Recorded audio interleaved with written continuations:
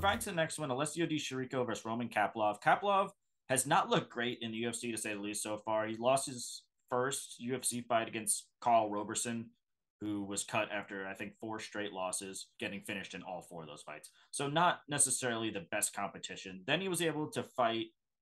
Uh, he wasn't able to fight for two years before his next fight, and he fought Albert Duraev and did manage a knockdown, but did lose two rounds to one for sure.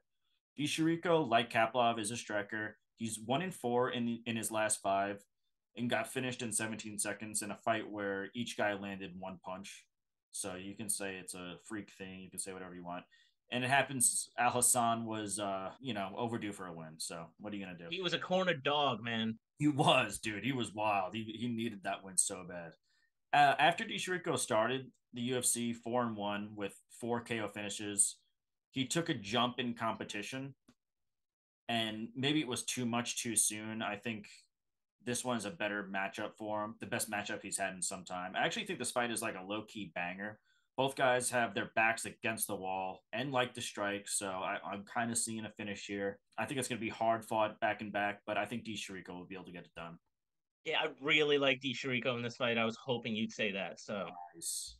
Yeah. Happy we agree on that. Um, yeah, he got caught in his last fight. He was able to put uh, put uh Joaquin Buckley away after Joaquin Buckley had that hype of the uh Kasanganay and uh the Jordan Wright knockouts, and he kind of he put him away in two minutes. It was cool to see that.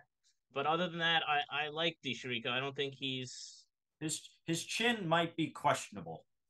His chin's questionable, hundred percent. But I like him.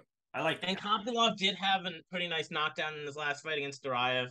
But, but boy, did he fucking suck in that fight. Besides that one punch. Yeah, yeah, that's what I'm saying. He lost the rest of that fight. Um, I'm pretty confident that Di can pull this one off. Yeah, I like it too. What's the odds on that? I don't even think there's odds up. Really? Damn. Nope. Dude, we're getting this shit out early. Oh no, I'm seeing it right now. I got it. Uh, even. Even. Very slight 115 to 105 in favor of Di. Take Chirico. I Take love it. Chirico. I like that pick too, dude. I like that. But you know what? Kopylov is a corner dog. But we're gonna yeah. we're gonna agree. We're Both gonna go Chirico.